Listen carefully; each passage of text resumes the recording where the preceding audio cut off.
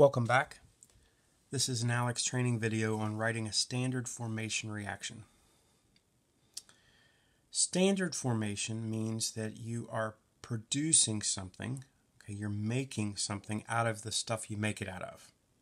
So, for instance, water is made out of hydrogen and oxygen. So you're going to say hydrogen plus oxygen yields water. Okay, that'll be the first thing you do. You need to make it.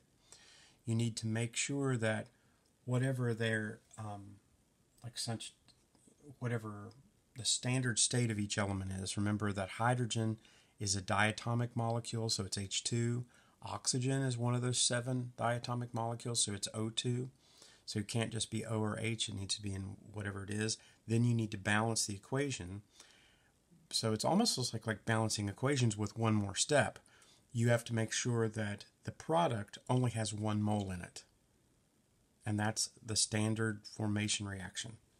All right, so first of all, water is made out of hydrogen. Okay, hydrogen is H2. It's a diatomic molecule, which is a gas. It's made out of O2. It's a diatomic molecule also, so it's O2 gas. And then it's producing water. Okay, so there's your first step. Your second step is to balance the equation, just like you did before. So I've got two hydrogens, two hydrogens, no problem. Two oxygens, uh, one, so I need I need two oxygens on this side. Now that's four hydrogens here, so I need four hydrogens there.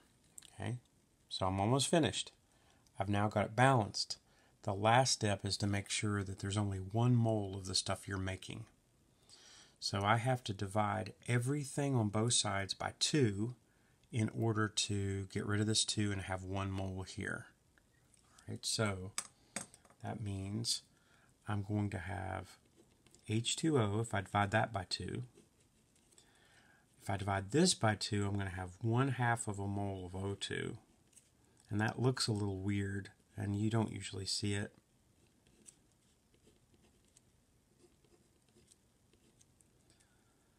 And then 2 divided by 2 is going to be H2. And I think we're done. It's that easy.